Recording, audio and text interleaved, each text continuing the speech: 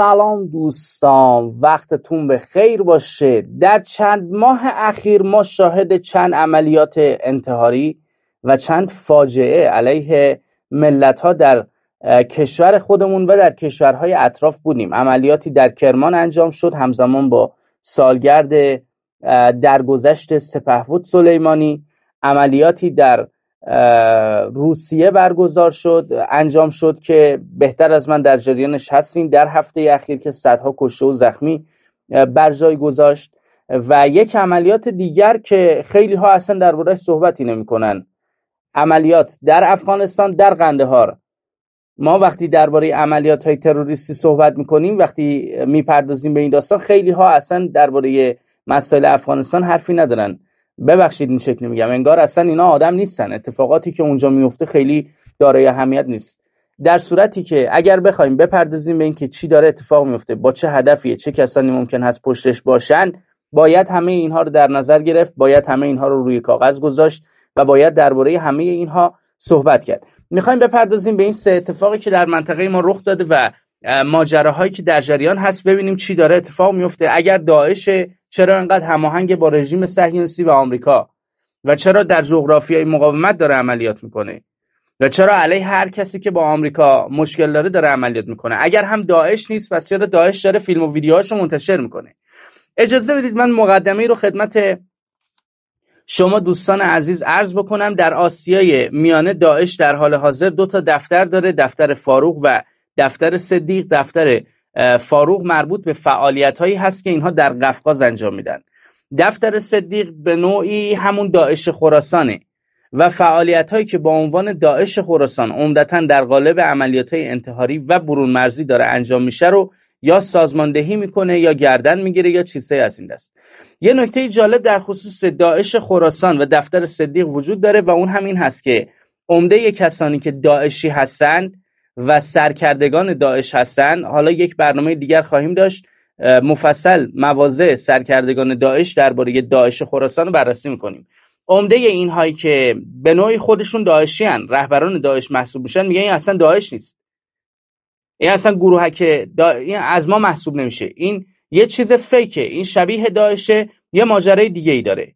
سوال ممکن هست برای شما پیش بیاد که خب اگر این داعش نیست پس چرا بیانیهاش روی خروجی رسانه رسمی داعش داره میره. من هم برای این پاسخی ندارم. من برای این پاسخی ندارم. عمده کسانی که سرکردگان داعش هستن به ویژه داعش قفقاز میگن اینا به نظر ما داعشی نیستن. اینا کارو با جاهای دیگه بستن. با این وجود اون بخش ابهام انگیز ماجرا اینجا هست که خروجی رسمی خبرگزاری ها و رسانه های داعش اخبار اینها رو داره پوشش میده. من البته اینم لازم هست اشاره بکنم اضافه بکنم شاید کاملتر بکنه ماجرا رو. خیلی از کسانی که به مسئله داعش خراسان می‌پردازن حرفشون این هست که این به لحاظ تفکر از داعش پیروی می‌کنه در بیعت داعشه اما در عملیات هایی که انجام میده از اینها خط نمی‌گیره. این شاید به ما کمک بکنه که بهتر و دقیقتر بتونیم به همین نقطه برسیم و به این نکته برسیم که ظاهرا باید پذیرفت که کسی در حال مدیریت این هاست. داعش ولی فرمونش جای دیگه است. اجازه بدید بریم جلوتر. یک اتفاقی در ایران رخ داد یک اتفاقی در روسیه رخ داد و یک اتفاقی در قندهار افغانستان رخ داد. ستاش یک وجه اشتراک داره و اون اش... وجه اشتراک اینه که در عملیاتی که داعش در کرمان انجام داد علیرغم اینکه بیانیه صادر کرد و در عملیاتی که در روسیه انجام داد علیرغم اینکه هم بیانیه صادر کرد هم فیلم منتشر کرد. یعنی فیلم از زاویه دوربین نیروهای عمل کننده خودش داعش منتشر کرد. در قندهار هم همین اتفاق رخ داد و چه اشتراک سه تا ماجرا اینه که نه ایران نه افغانستان نه روسیه هیچ کدوم قبول ندارن این داعشه افغانستان در بیانیه هایی که صادر کرده در رأسش طالبان میگه اینا پاکستانن من اصلا داعش پشت قضیه نمی‌بینم. ایران در بیانیه هایی که صادر کرده و اظهار نظرهایی که مقاماتش دارن بر این تاکید داره که این هماهنگ با رژیم صهیونیستی و آمریکا داره عملیات می‌کنه و از نظر ما تو پازل اونهاست این داعش هم گردن بگیره کس دیگه ای داره دستور میده. روس هم نگاهشون همینه. روس هم وقتی در مسئله ورود کردن درباره این مسئله صحبت می‌کنن میگن یه پنجره باز شده بوده که این عملیات بکنه. بعدش بپیچه به وازیبر اوکراین. بعد داعش بیانیه داده رئیس شورای عالی امنیت ملی روسیه میگه ما نمیپذیریم ما قبول نمی‌کنیم کار داعش و ادامه ماجراها. وجه اشتراک ستا ماجرا. تا اینجای داستان این هست که اگرچه داعش مسئولیت رو بر عهده گرفته هیچ کدام از این ستا کشور قبول ندارن که این کار داعشه. بریم جلوتر. من مفصل درباره این نکاتی که دارم خدمت شما عرض می‌کنم توضیح خواهم داد. یک اتفاقی در افغانستان رخ میده سال 1396 و اون اتفاق این بود اواخر سال 1396 و اون اتفاق این بوده که عده‌ای در ایالت ها در ولایت های جنوبی افغانستان متوجه این میشن که عناصر داعش برای انتقال از نقطه به نقطه دیگر دارن از بالگرد استفاده می‌کنن. بعضی از نماینده های پارلمان در افغانستان به همین اشاره می‌کنن که آقا ما در افغانستان شاهد این هستیم که داعش داره با بالگرد جابجا میشه. وقتی با بالگرد جابجا میشه یعنی یه نیروی نظامی پشتشه یک نیروی نظامی وابسته به دولتی پشتشه. یک گروهی که این گروه دیگه شبه نظامی نیست داره ازش حمایت می‌کنه. اون موقع کسانی که در روسیه بودن هشدار دادن به مقامات افغانستان به دولت افغانستان به شخص اشرف غنی که به اینا پاسخ بدید. یه سری پیدا شدن میگن دولت داره حمایت می‌کنه. اون کسی هم که در اینجا سیطره داره اشراف داره حضور داره شما هستین. آیا دولت افغانستان داره حمایت می‌کنه از داعش خراسان از حضور اینها در افغانستان؟ یا ماجرا رو باید طور دیگر دید؟ پاسخ به این سوالات داده نشد درباره اینها صحبت نشد. ما شاهد این بودیم که در اون سالها داعش رشد پیدا کرد در افغانستان. چیزی در حدود ده هزار نفر نیرو اینها در افغانستان داشتن. نیروهایی که بعضی هاشون ایرانی بودن. اینا کودکانی رو فرستادن عملیات استشا... عملیات انتحاری انجام داده. این بچه ها ایرانی بودن. اصالتا ایرانی هن. پدر و مادر ایرانی بوده. عملیات های انجام دادن. عمدتا داعشی های شکست خورده از کشور سوریه و عراق بودن که گسیل شده بودن به افغانستان حضور پیدا کردن. در افغانستان اتفاقاتی رخ میده درگیری های پیش میاد. بعد از یک بازه زمانی ما شاهد حضور طالبان بودیم. بعد اتفاق دیگری که رخ میده این هست که در کشورهای اطراف افغانستان ما شاهد تقویت چیزی به نام داعش هستیم که حالا داره حمایت هایی رو از دولت هایی می‌گیره. داره پروژه هایی رو از دولت هایی می‌گیره به جهت عملیات هایی که انجام بده. مسئله بعدی که من لازم از خدمت شما عرض بکنم اینه.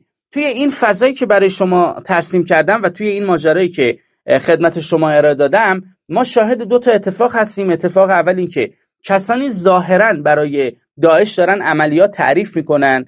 یا اگر بخوایم طور دیگر ماجرا رو نگاه بکنیم داعش عملیات های انجام میده که ادعی دارن ازش بهره می‌برن. این رابطه رو چجوری میشه تعریف کرد؟ چجوری میشه دید؟ اون چیزی که از کلیت ماجرا برمیاد و از کلیت ماجرا می‌توان دریافت کرد اینه که ظاهرا یه سری ها از پروژه تعریف کردن برای اینها منفعت می‌برند و یه سری ها در درون داعش از انجام این پروژه ها هم سود می‌برن چجوری این داستان؟ اینا سود می‌برن از این جهت که زنده بودن خودشون رو فریاد می‌زنن. داعش الان فتح سرزمینی که نمی‌تونه بکنه.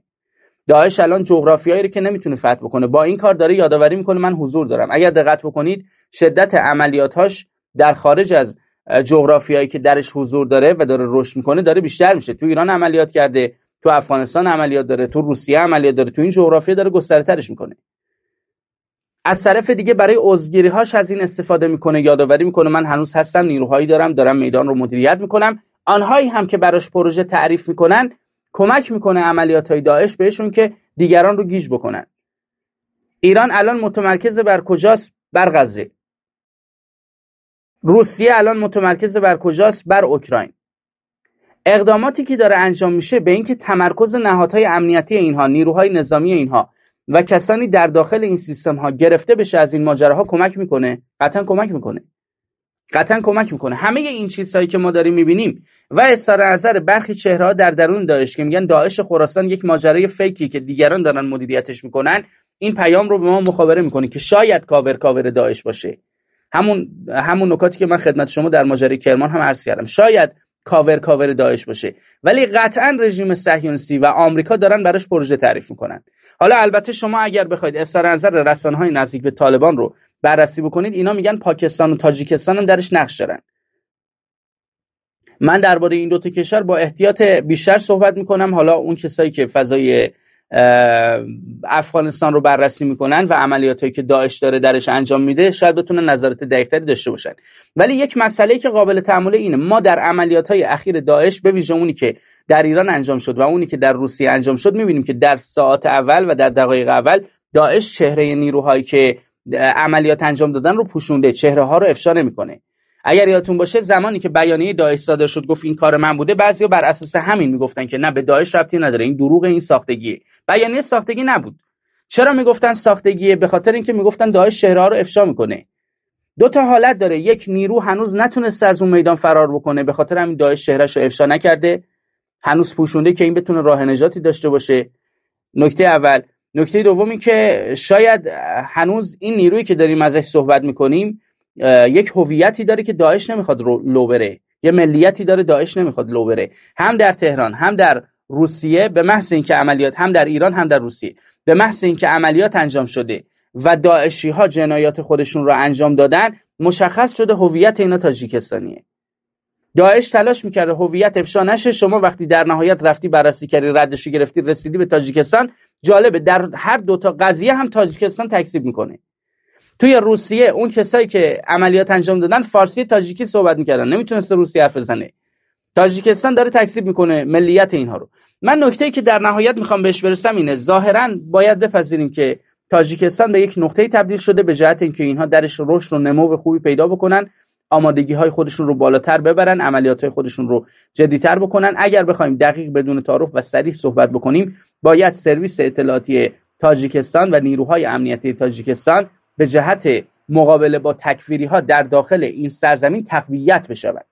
اگر اینا تقویت نشن اگر کسی اینها رو ملزم نکنه اگر کسی همکاری های مشترک برای مقابله با اینها رو شروع نکنه ما باید شاهد این باشیم که این اتفاقات در سرتاسر سر جغرافیای این منطقه در تمامی کشورها بیشتر و بیشتر بشود.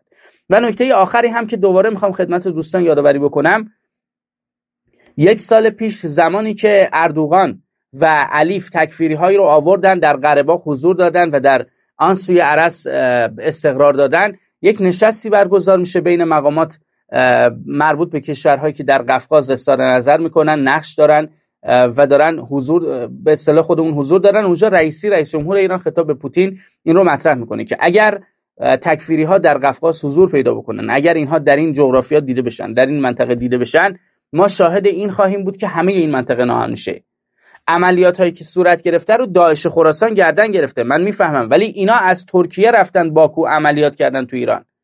توی شاه چراغ توی کرمان.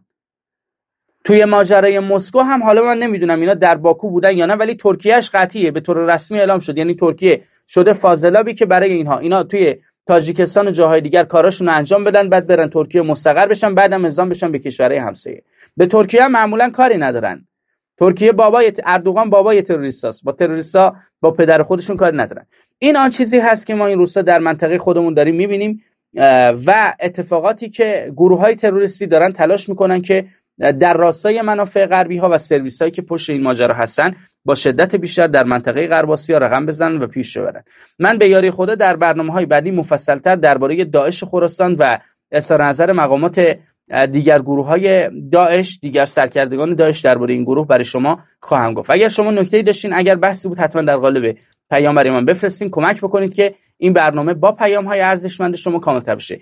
ایران 14 313 پل ارتباطی من و شما هست بریم یک نمونه از پیام های دوستان عزیز رو با هم دیگه بشنویم. اجازه بدید من بله این پیام رو برای شما بیارم. بله. زبای تحلیل کرد شما خیلی خیلی مدتی که فایده شما رو دریافت کنم و گوش میدم و واقعا قابل استفاده است خیلی نخوت نداشت من یاد گرفتم بس صحبت نکنم حق بزرگ نگردانه من هم سلاله داریم چند روز قبل یک خواب عجیبی دیدم یه کلام معلا کنار زمین آقای موسی علیه السلام بودم که شما رو زیارت کردم خواب خیلی فوق‌العاده‌ای بود و دو طرف آرزوهایی که داشتم توی خواب محقق شده فکر کردم رفتم بریم. شما رو زیارت نکردم. انشاءالله که توفیق از نزدیک هم زیارت می‌کنم. خیلی ممنون بابت وقتی که می‌ذارید تلاش که انجام می‌دید انشاءالله که مجبور هست. خدا حفظتون کنه انتماس الله سلام و عرض ادب. خیلی ارادت دارم. تشکر می‌کنم. از پیام ارزشمندشون. عجب خواب خاصی بوده. عجب خواب خاصی بود. من البته بر این باور هستم که این چند وقته خیلی جاها بدون اینکه خودمون بدونیم ما زائر شدیم. چون رفقایی دارم این رفقا از مشهد از کربلا از شهرهای زیارتی دیگر به من پیام میدن. حتی مثلا بچه ها مسافرت هم میرن رفقا مسافرت هم میرن برای من عکس و فیلم های نوروزیشون رو میفرستن من می‌بینم. مثلا مخاطبا فلانجا رفتن فلانجا رفتن با ما به اشتراک می‌گذارن. دوستانی که مسافرت میرن جاهای زیارتی به ویژه اونهایی که میرن و حضور دارن و یادی از ما می‌کنن من یقین دارم. حتی نیم درصد شک ندارم تو این من یقین دارم که ما هم اونجا در کنار شما به واسطه دعایی که دارید برای ما می‌کنید و به واسطه اینکه یاد ما هستین حضور داریم. حالا این خوابی هم که این رفیق عزیز اون عزیز دل ما دیده من که سعادت نداشتم حضوری پیدا حضور پیدا بکنم اونجا.